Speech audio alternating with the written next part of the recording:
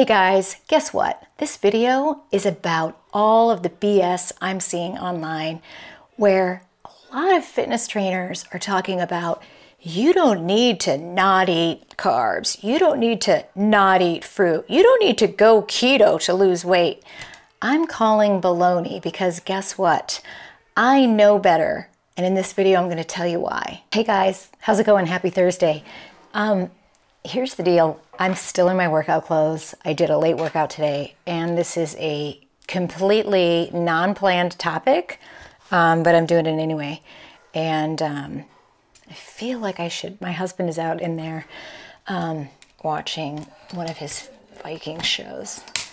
I'm just adjusting. I kind of feel like I should shut the door so that we don't have a lot of. I'm going to shut the door. Hold on.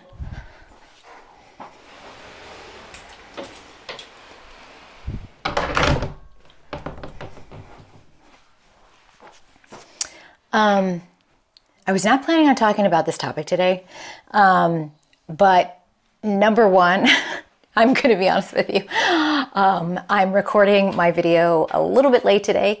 Um, I did my workout late today. Um, we had a lot going on today. It, today is kind of a flip flop day. I'm doing things later, and it is what it is. Sometimes you have days like that, right? Memorial weekend's coming up, blah, blah, blah.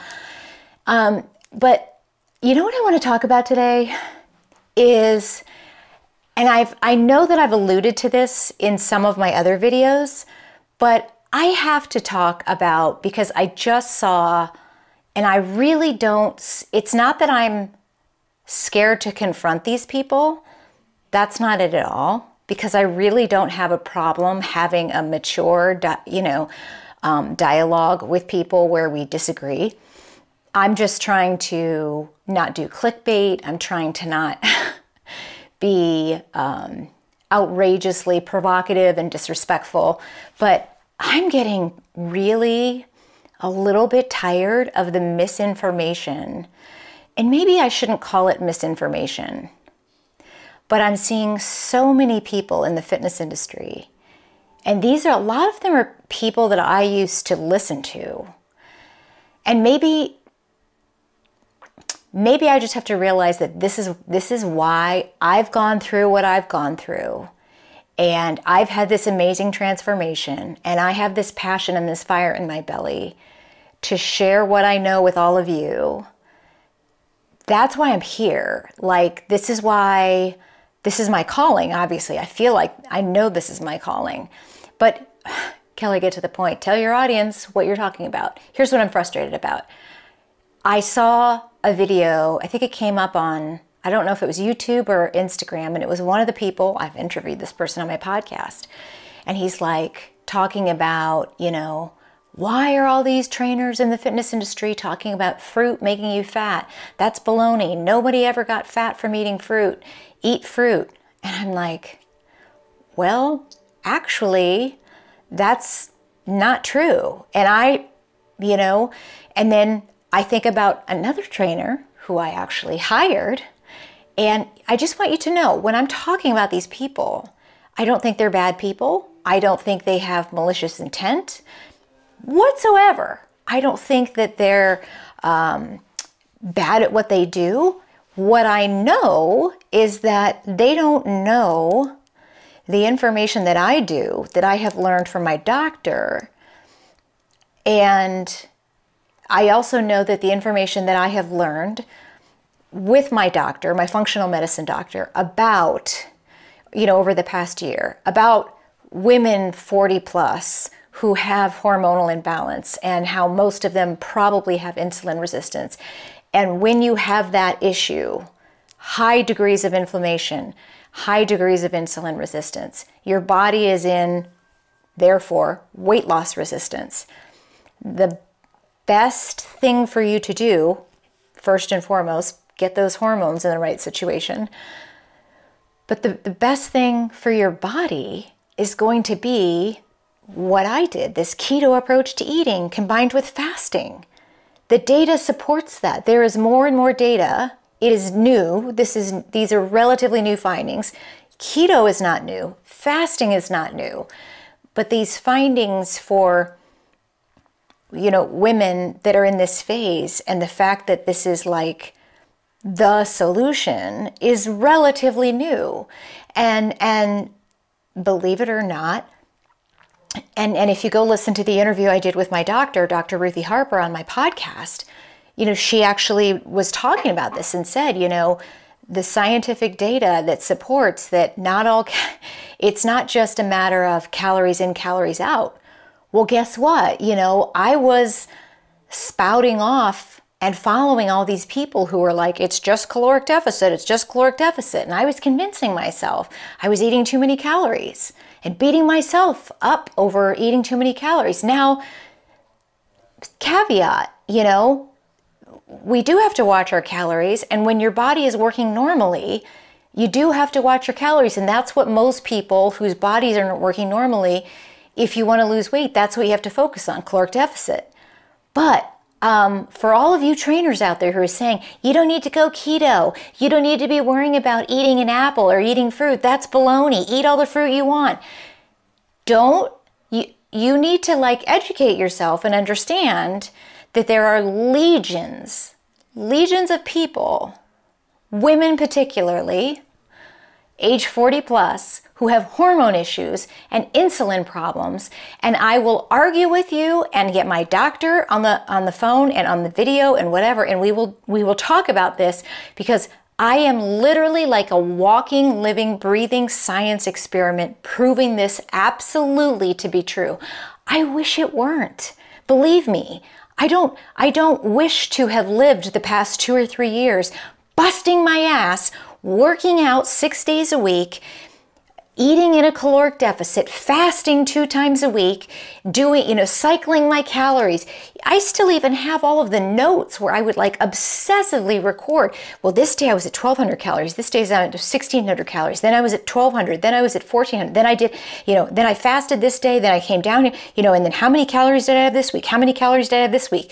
And then I, you know, I worked out six days and then I trained with my trainer four days this week. And I still couldn't lose any weight. I was 20 to 30 pounds overweight for literally the better part of the last eight years.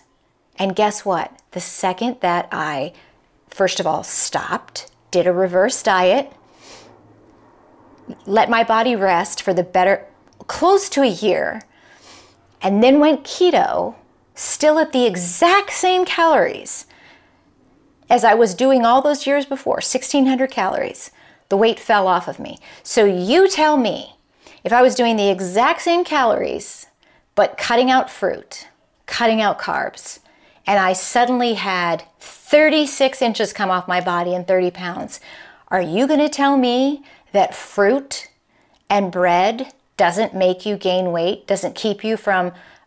I beg to differ. So, all these people, and I'm seeing all of these you know, fitness people putting stuff out saying, you know, you don't need to go keto, you don't need to cut carbs, that's baloney. Who are all these people saying, oh, that's ridiculous? You know, and I've commented back to some of them that because I know some, I, I re, obviously I know a lot of these people. But it's starting to get to the point where I'm, I'm almost going to start aggressively talking to some of them and going, You're doing you and your clients and this industry a disservice to not educate yourself on this because a whole generation of women needs to know about this. And for you to go out and be telling them, like I was telling myself, and, and I, here I was eating protein smoothie bowls every single morning and going to, you know, out to eat and ordering double protein and having rice and quinoa and, um, you know, going out on my, on the weekends and thinking nothing of having a blueberry cucumber martini, you know, and, and just everything I had, it was just, you know, insulin response here, insulin response here, insulin response here, insulin response here. And no wonder I couldn't lose a pound and then, you know, my estrogen went crazy, my boobs just grew to like Dolly Parton size. And here we are a year later. Look at me. I'm selling almost all of my clothes on Poshmark because they are falling off of me. We're not just talking about like, oh wow, you know, these this are, you know, this top is a little bit loose on me. I can finally, you know, maybe it fits a little bit better. We're talking about like I can't wear stuff because I could fit another person in them. Like my husband will come up to me and go, to my workout clothes, he's like, like those look funny on you. Like they they don't they don't look good on you. Like they're way too big. Never in my adult life has that happened. Ever. So I had to just shoot this video, which is probably going to be shorter than most, to say that number one, for those of you tuning in,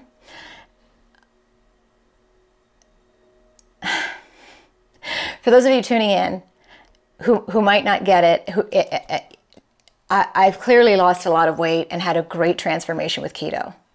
I lost 36 inches and 30 pounds um, at the age of 52. I'm now 53. Keto is not just a diet. I mean, yeah, it's it's a diet that you could choose to go on, but it is a absolutely magical. When I say magical, I'm not being funny when I say that. It is a it is like the missing link for women age 40 plus with metabolic damage from from hormonal imbalance. And what I mean by that is basically if you're 40 plus or somewhere around there, you're in perimenopause, or maybe you don't know if you're in perimenopause, but you're probably going into perimenopause, menopause, menopause, postmenopause. I'm already done with menopause. But um, if you're in that phase, it's highly likely you have insulin issues. And the thing is, that hasn't been mainstream media. Mainstream media hasn't talked about that. That's probably what's going on. Um, and and so many women just like I did, so many women, your body starts fighting you around age 40. You stop you're you probably will start gaining weight or maybe you have the inability to lose weight. And the problem is most women will just think that this is a fitness problem. They ignore all the other things that are happening with their bodies. They ignore the body temperature changes. They ignore the mood swings. They ignore the changes in energy. They ignore the maybe they have the sudden acne problems. They ignore the loss of sex drive. They ignore the vaginal dryness their hair falling out. All of these things that are happening these symptoms they ignore all of them. They only pay attention to the fact fact that they're gaining weight. And so then they start obsessively adding more cardio and cutting back on what they're eating. And so many people have such a bad vibe about keto. I did too. I thought it, I mean, it was literally the last thing I tried. And it was the best thing I tried, and it's the thing I, that changed my whole life. I haven't cheated. I haven't, I haven't gone off keto. It is now my lifestyle. I'm coming up on a year in fact, it's May 26th. In about five days, it will have been a year that I've been keto. Haven't cheated and I don't plan on it. Um, so, if you're watching this, the point of this video was for me to say if you are hearing, if you're out there and you're trying to lose weight and you're you're seeing all of these, you know, you're stumbling on these people in the fitness industry that are like, "Oh my god, you know, Who's telling you that fruit doesn't make you fat? Who's telling you that you have to cut carbs? For, for a lot of people whose bodies are functioning normally, that is true, you know? I, you know, there's a lot of people who don't have to go keto. And I absolutely will tell you, the whole world does not need to go keto. My husband isn't keto. Um, I do not think that everybody should go keto. If I didn't have to cut out bread and fruit, I would love to be able to have an apple every day. Absolutely. Um, I'd love to be able to have a banana every day. I'd love to be able to have a protein acai bowl every day. There's a lot of things I'd, be, I'd love to be able to have. However, I'll tell you this not for one second do I get up and complain about the food that I eat because there are so many amazing foods that I get to eat and even though I said just said what I said, like, oh wow, I'd love to be able to have this or this. There's a million things I could eat. And I'm never not satisfied with all of the choices that I have. And what's even better is that I'm 53 and I feel better about my body than I did at 23. So that is an amazing thing. And I know I'm going to look better in six months than I did six months ago probably going to look better in three months than I did a year ago. I'll look better in six months than I did six months ago. I mean, I'm only going to get better and better and better.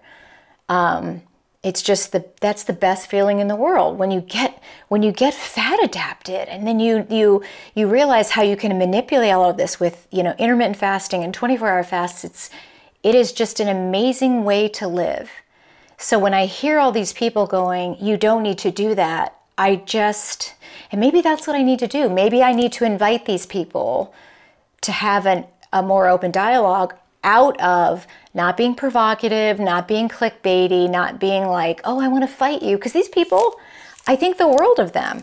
But I want, there's a bug in here, I want them to know for their audience's sakes, for their clients' sakes. I don't want them telling more clients. And, and, you know, I followed these people. I was a client of these people. I was misled by these people and their information, not because they did it intentionally, but I want more people in the fitness space to know what I know and to stop bashing keto, to stop bashing low carb, and you know, put the message out and say, "Hey, fruit isn't bad, but there are some of you if you're 40 plus and you have hormones, you probably should be looking into low carb and you should be looking into keto and you should call Kelly Olexa. um, that's all I have to say for today. So, um, I really, really, really want you to start taking with a grain of salt when you hear that. Um, obviously, if you're tuning into my channel, if this is the first video you watch, go watch some of my other videos on my keto playlist because you'll see more. And that's just i'll be going into more detail um, about what i'm learning. I'll be educating more. I'm launching a five day online keto boot camp for women. Um, i will link up below. I've got a free keto quick start guide for people that just want to start kicking the tires with, with keto and learning more about that. That's based on, you know, my experience going keto and it's got some tips, best practices, links to some of the products that I use, some of the five or six recipes that I make on a regular basis. I'll also link below my keto cookbook. It's just 27 book, 27 bucks.